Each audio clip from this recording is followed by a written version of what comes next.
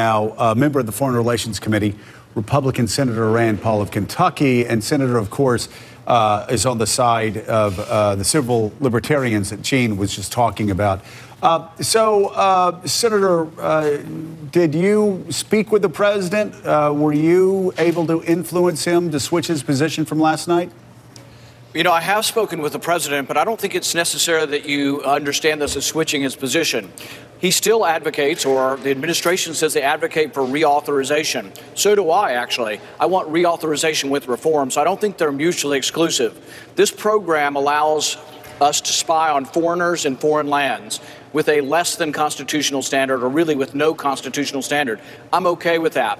What I'm not okay with is that millions of Americans are collected into this data system mm. and that maybe rogue people at the FBI or a Justice Department could look at this database without a judge's warrant. So we want a judge's warrant. So I don't think they're mutually exclusive. You can be for the program and for the program with reforms. Right. And the way I understand the president's position is that he wants some of the reforms, that he thinks that we ought to have a warrant to look at this, and that there's a possibility that people with bias in the intelligence community could use that bias to actually abuse the system. This is an enormous power. You have to realize we have the ability to soak up every phone call in Italy in one month, and apparently we did. So we have the ability to soak up most of the phone calls and conversations in the whole world.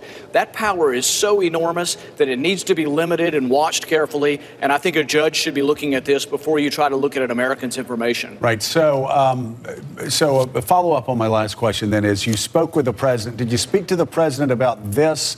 Did you encourage him to? Uh, change his position, or if not change his position, at least take a position inconsistent with what the White House officially released last night? Actually, actually sort of the opposite. Uh, our, in our discussion, he was encouraging me that this is his position, that he agrees with me on the position. But I don't think, I think that we're getting it wrong if you think they're mutually exclusive, because I know you're always looking for inconsistencies, but you can be for reauthorization, what the administration is for, right. with reform. So my bill and the Justin Amash amendment that they're going to vote on today reauthorize authorizes the program, but says you have to get a warrant, and it also says that you cannot um, use that the information from this uh, huge database that's been collected without constitutional protection. You can't use it for domestic so, crime. You can only use it for terrorism, so, so, national security. So, Rand, uh, drill drill down for for those of us uh, people watching that may that obviously haven't studied this as closely as you. So you want to keep the FISA system in place. You want to keep the FISA courts in place. You have no problem with us doing this abroad. Uh, I, I, would I would guess that you also would have no problem with this happening at home domestically when when our, our intelligence agencies have to look for terrorists or homegrown terrorists. You are well, just saying. No, no, there is oh, oh, let, let, me finish because I think you may agree with me. You, though, just are, you're fine with that. You just want an extra layer of protection before that power is granted. Is that correct? At, ho- at, at home, there has to be the Constitution. Abroad, there doesn't. That's a simple way to put it. So if you have somebody, even uh, a person who mows down pedestrians in New York that we all want to punish, we use the Constitution here. They get a jury, they get a lawyer. I'm for having the Constitution work in our country. It doesn't necessarily have to work, but all the information we gather through FISA on foreigners in foreign countries, it captures Americans' data too, many accidentally or right. incidentally who are completely innocent. If I have made a phone call, if any of you have made a phone call, it could have been caught up. Think of this if a journalist sends an email and puts in the words Baghdadi, the leader right. of ISIS, yeah. that may be captured because now he is a target, right. and you've sent an so, email so, to one so, of your reporters so we, overseas. We, we, understand. So, again, so to strip it down, so let's say this happens incidentally. I, I don't know if this is what actually happened with, with uh, the general, General Flynn, but let's say they pick it up incidentally. So, my question is when is it possible? This is the best way to ask it, I guess. When is it possible for law enforcement to use incidentally picked up information which proves a crime or a terror attack is going to be uh, committed by an American? There are currently only internal controls over who can search the database. They say they're not doing it very often, but here's the point. You should ask a judge. The same way when we say, well, police brutality could occur, one of the ways we check police brutality, even though we think most police are good, a, would it be is a they FISA have to call judge? a judge. Right, would it be a FISA to, judge? It, it's that's uh, it, you would have to have a judicial warrant, and in this case, yes, it probably still would be a FISA judge. So it would still be secret. Like you- you're, you're not saying let's go to the, the, the, the you know the local federal judge. Right. There still would be a okay. judge overseeing it, It would be a FISA judge. But here's the, the rub about this you need checks and balances. As Madison said, men are not angels. And we found out recently there were people in the FBI plotting to bring the president down. There are people in the Department of Justice working with opposition Who, research who was plotting in the FBI down. to bring the president down? Strzok, his girlfriend, perhaps someone named Andy, talking about we need an insurance policy to bring the president down to prevent his election. that was And- happening and on that- company that's time, actually- on company that, funds. That, that was that was that was where a couple people talking. And uh, are you are you suggesting there's an FBI Well- conspiracy? I mean, would you Well, like no- all of would you like all of your texts when you're blowing off steam about politics? Would you like them produced a little? Because I know I certainly wouldn't.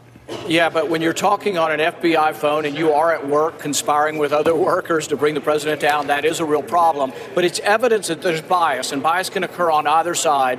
We now have evidence that at least two, maybe three high ranking FBI agents had enormous bias against the president. Each one of them could potentially have been searching the database just looking for stuff. Well, the other problem I, Rand, is. I, I understand that, but you, you would admit that there were a lot of FBI agents that had tremendous bias against Barack Obama. In fact, when people like me, and I would guess you, were angry Exactly. that Barack Obama was saying that Hillary Clinton didn't didn't violate any national Right. security standards, the Right. FBI, he had agents really Bias angry and leaking things against him. But bias can occur on either side. Men are not angels, as Madison said. That's why we need more oversight. All of the arguments we're making, they could be Republican, Democrat, liberal, conservative, and that's why this is a bipartisan coalition. When you look in the House, it's half Republicans, half Democrats. They're going to be for this reform amendment. Right. All it says is that we are worried that men and women are human, could be biased, and that this enormous power to soak up all of our phone calls needs to be overseen by a Got it. judge. You should not right. have people just searching the database without any kind of oversight. so we, we, we're gonna we got a few people here that want to jump in, Mike. Okay, Senator, you've indicated you have an apprehension about, in your words, rogue FBI agents in the Department of Justice. But you just said that two FBI agents were conspiring to bring down a presidency. Can you back that up? How are they conspiring?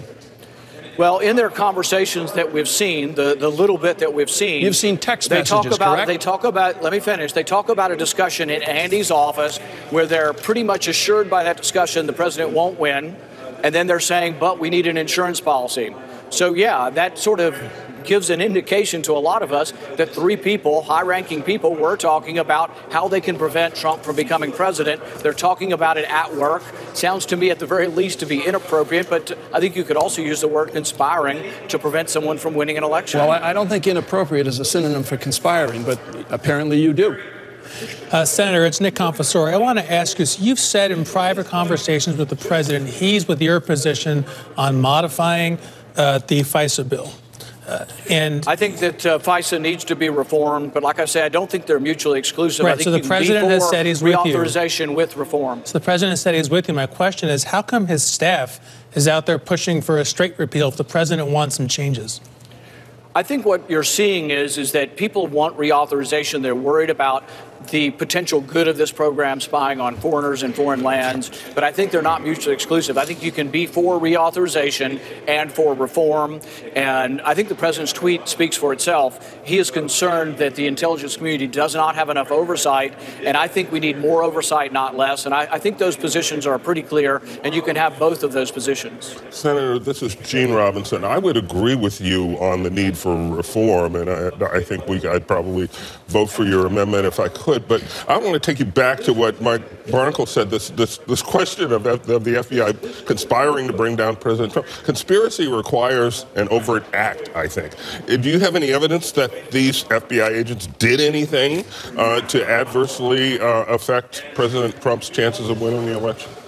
I think all we have is a snippet of their conversation. So, yeah, if they want to release the transcript of what they were discussing with Andy in the office, uh, you know, perhaps Andy McCabe, perhaps the second in charge of the FBI, it is very worrisome that they're saying they were talking about trying to prevent Trump from being president, but maybe it's going to be okay, maybe we'll be successful, but we need to have an insurance policy. That sounds very worrisome to the American people that high ranking FBI agents were actually conspiring to try to prevent Trump, Donald Trump from becoming president. Well, okay. We don't know if they were doing that. That's- Well, we don't know. Um, one, fin- one final question, uh, Senator. Um, just generally on the question of Bob Mueller. Um, Okay. uh, obviously, the president yesterday wa- said he wanted Republicans to step up and, and take control of the investigation. Uh, Paul Ryan and others have said that they believe that uh, that Robert Mueller should be allowed to continue his investigation through the end. Would, do, do you agree with those Republicans, or do you think the investigation should be stopped? Well, here's the question. I think his instructions are to look for Russian influence in the campaign. We now have evidence that Russian agents were paid for by a campaign. We have evidence that Christopher Steele paid Russian agents and he was paid for by Hillary Clinton. So the only direct linkage we have to Russians so far in the evidence is actually the Hillary Clinton campaign through Christopher Steele to Russian agents that were paid for this dossier. So I don't know if you want Mueller to continue along that vein and look down both avenues equally into both campaigns for collusion. If we want to do that, maybe we could. But I think so far there's no evidence of any collusion with the president. Well, we don't know. There are there are obviously his national security advisor and closest confidant uh, traveling on the campaign is cooperating with the investigation after pleading guilty to federal charges. Same with other other officials. So no, I'm, I'm fine with everybody being investigated. I, uh, are you fine with everybody being investigated? Are you fine with the investigation continuing? I think the problem we have sometimes with special prosecutors is we go down avenues that uh, can lead down uh, rabbit holes 20 years old. And so I think really what happens with a special prosecutor is you end up uh, convicting people of tax evasion. Now we have Michael Flynn caught up in something that may have been an illegally recorded phone call where people listen to his phone call, release it to the media, which is a felony, and then we try to get him with inconsistencies as to what he said in a private phone call. And so there's a lot of worry that a special prosecutor's mandate is too broad. Right, but, but- really, if we right. want to look for collusion, the only evidence we've seen of collusion is that Hillary Clinton paid Christopher Steele. That's the only Russian evidence that you know. That- that- that's the only that's evidence you know. We do know that, that some people have been thrown in jail, and we aren't going to know until the investigation's concluded. So I'll ask again: Should Bob Mueller be able to finish that conclusion, so we know whether there were uh, the, the, that investigation, so we know whether there's collusion or not? Yeah, but yes, but uh, Okay. how long? A decade? I mean, we Yeah. need to get it done. Listen. There's been a year's worth of investigation. Oh, I think we could go on too I, long. I, I, I agree with you. I mean, I, I, I still am a little, uh, a little chapped at Lawrence Walsh's investigation, dropping charges uh, against, I think it was Cap Weinberger, two or three days before the 92 election. So I agree with you. Democrats certainly would agree that an investigation that started on a land deal shouldn't have ended up uh, impeaching the president because of personal relations with somebody else. So we probably all agree on that. All right, Senator. Thank you so much. It was uh, very informative and really timely. We'll see what Fascinating. happened. By the way, really quickly, I, they're going to yell at me, but I'm just curious. No, we'll yell. Is there a chance uh, for this this amendment to pass? How many how many It's- people do you have lined up on it?